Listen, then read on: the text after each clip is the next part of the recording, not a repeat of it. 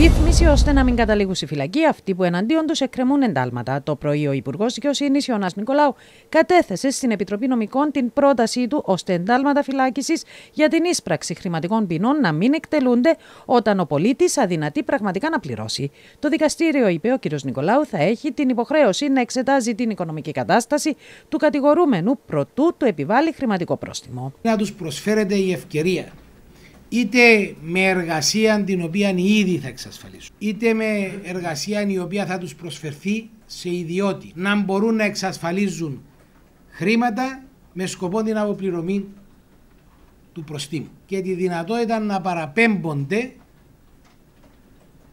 σε πρόγραμμα κοινωνικής εργασίας ο κ. Νικολάου ανέφερε επίσης ότι μέχρι το τέλος του χρόνου η κυβέρνηση θα καταθέσει το σχετικό νομοσχέδιο. Σε μια άλλη εξέλιξη, η Επιτροπή αποφάσισε όπως το νομοσχέδιο για την άρση του απορρίτου σε γραπτά δεδομένα επικοινωνιών τεθεί ενώπιον της Ολομέλειας στις 29 του μήνα. Η καθυστέρηση προκλήθηκε λόγω των νέων εισηγήσεων του ΑΚΕΛ για περαιτέρω ασφαλιστικές δικλείδες, ώστε να περιορίζονται στο ελάχιστο τα περιθώρια αυθαιρεσιών από τις διοκτικές αρχές.